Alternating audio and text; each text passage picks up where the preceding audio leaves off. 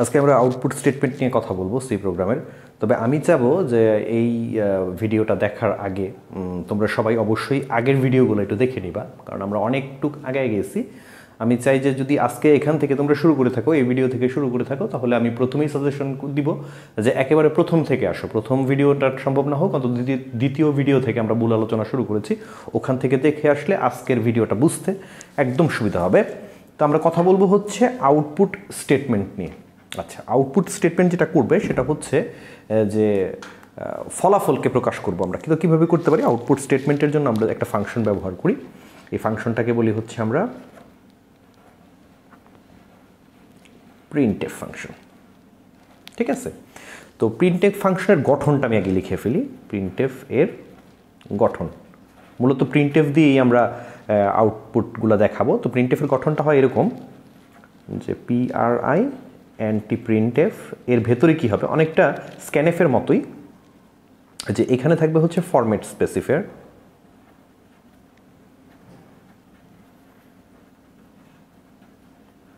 ঠিক আছে? এটা কমা দিব, আর এখানে হবে হচ্ছে ভেরিয়েবল নেম ঠিক আছে? সিম্পল এখানে থাকবে হচ্ছে ভেরিয়েবল নেম একটা পার্থক্য কি? তাহলে স্ক্যানএফের সাথে স্ক্যানএফের সাথে প্রিন্টএফের পার্থক্যটা আসতেছে যে ভেরিয়েবল নেমের আগে অ্যান্ড পার্সেন্টটা ছিল প্রিন্টএফে এখানে নাই। আর প্রিন্টএফের জন্য তোমরা মনে রাখবা, এটাও একটা লাইব্রেরি ফাংশন যার হেডার ফাইল হচ্ছে এসটিডিও ডট এইচ মানে এসটিডিও ডট এইচ ফাংশনটা হেডার ফাইলটা লাগবে প্রিন্টএফের জন্য, এটাও একটা লাইব্রেরি ফাংশন যেটা হেডার ফাইল হচ্ছে এসটিডিও ডট এইচ চলো একটা এক্সাম্পলের মাধ্যমে একটু দেখার চেষ্টা করি, যে কীভাবে আমরা আউটপুটগুলো যেমন সাপোজ আমার একটা মান রয়েছে যে ইন্টিজার এ ইকুয়াল টু হচ্ছে টেন তার মানে এ নামক ভেরিয়েবলের মধ্যে টেন আমি এটাকে ইনিশিয়াল করে দিয়েছি। এটা এর মান হচ্ছে টেন এটা প্রোগ্রাম জানে। এখন যদি কোনো কারণে এটাকে আমরা আউটপুট দেখাইতে চাই, তাহলে আমরা প্রিন্টএফটা ব্যবহার করব কীভাবে? প্রিন্টএফ প্রথমেই ফরম্যাট স্পেসিফায়ার ইন্টিজারের ফরম্যাট স্পেসিফায়ার কি? আমি আবার লিখে দিচ্ছি। ইন্টিজারের জন্য হচ্ছে পার্সেন্টেজ ডি এটা নিয়ে আমার আরও ভিডিও রয়েছে। তোমরা আমার ডেটা টাইপের যে ভিডিওটা রয়েছে, সেই ভিডিওটা তোমরা দেখে নিতে পারো। সেখানে ফরম্যাট স্পেসিফায়ারগুলো নিয়ে কথা বলেছি আমি, তারপর আবার লিখে দিচ্ছি। ফ্লোটের জন্য আমরা ব্যবহার করব হচ্ছে পার্সেন্টেজ এফ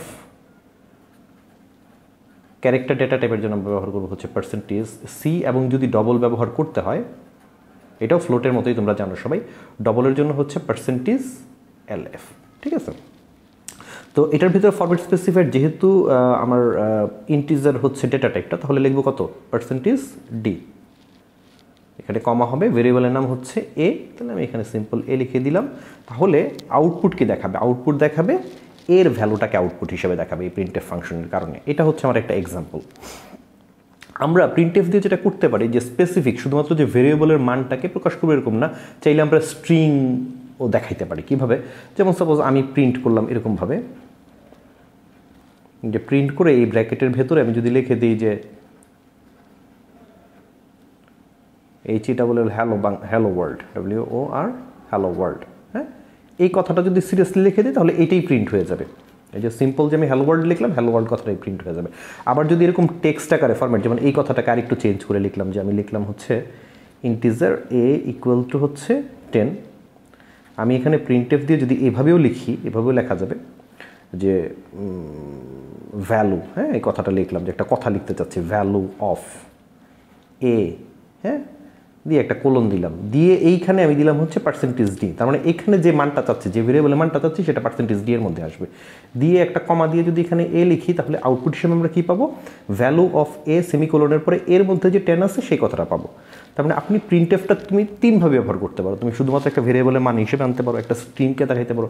স্ট্রিং প্লাস ভেরিয়েবলের মানটাকেও তুমি আউটপুটে দেখানোর জন্য তুমি প্রিন্টেফ ফাংশনটা ব্যবহার করতে পারো। তো এই ছিল মোটামুটি আউটপুট স্টেটমেন্ট নিয়ে আমার আলোচনা।